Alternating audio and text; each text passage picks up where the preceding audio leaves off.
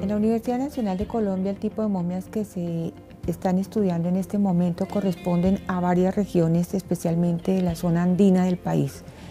Están eh, guanes, hay del territorio cundiboyacense que corresponde a Muiscas, de la sierra del Cocuy, hay de la sierra del Perijá que está un poco más al norte y al lado de Venezuela, y eh, algunos también que se han traído acá que están sin todavía mm, determinar exactamente de qué sitio corresponde. La momificación es dada en élites, es decir, en personas que uno sabe que tenían cierto mando o poder o un grado social un poco alto. La mayoría de las veces las momias las encuentran son guaqueros, le quitan todo el ajuar, es decir, todo lo que compone el entierro y las entregan. Entonces no tienen el contexto de dónde estuvieron ellas ubicadas exactamente, las preparaban con resina, las sacaban, les preparaban con resina, algunas las rellenaban otra vez con eh, mantas, con fiques y en esta preservación que hacían de resinas, primero les desecaban, les sacaban todo lo que eran los líquidos, sangre y agua, las dejaban expuestas a fuego lento, humo principalmente, y ellas iban deshidratando poco a poco. Esta es una práctica que no solamente se daba acá en el país, he visto en lo que he leído que también en otras partes de América y en otras partes del mundo se hacía.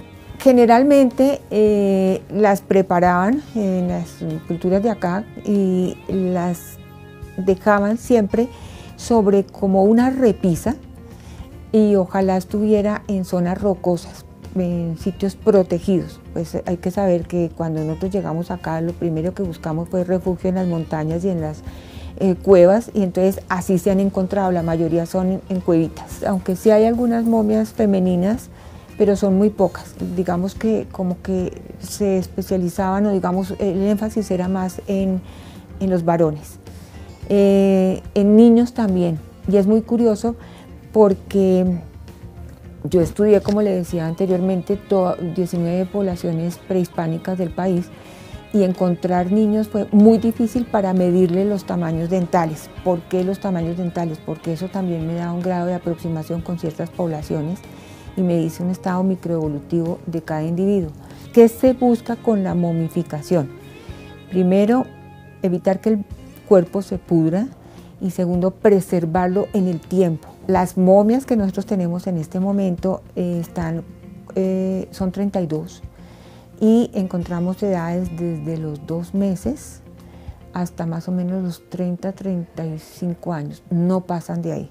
De hecho, pasar de los 30 años en la época en que ellas existieron, la época de los muiscas, ya era vejez. Poder analizar la parte craneal y facial es lo más importante en todo hallazgo arqueológico humano.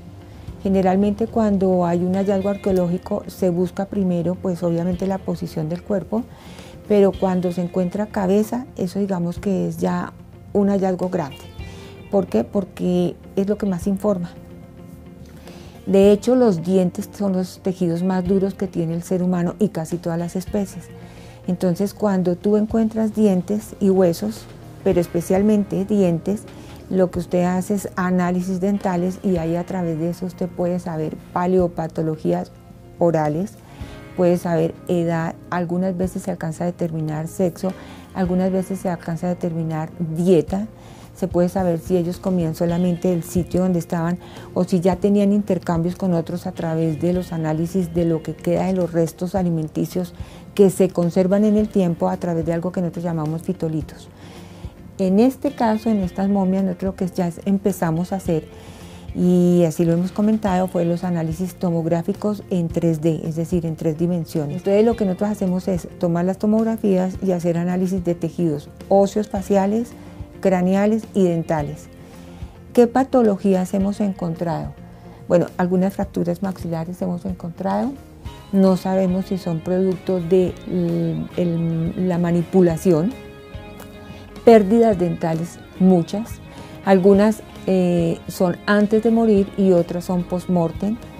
Hemos encontrado algo con lo que no hemos podido nosotros ni siquiera en el siglo XXI superar, que es la caries dental y la enfermedad periodontal. Ellos la sufrían porque ellos ya eran agricultores, es decir, es una población muisca la mayoría, y mm, en cambio en los anteriores, que son los cazadores recolectores, los primeros que vinieron acá e ingresaron a nuestro continente y a nuestro país, ellos no tenían casi caries porque el tipo de alimentación era totalmente diferente.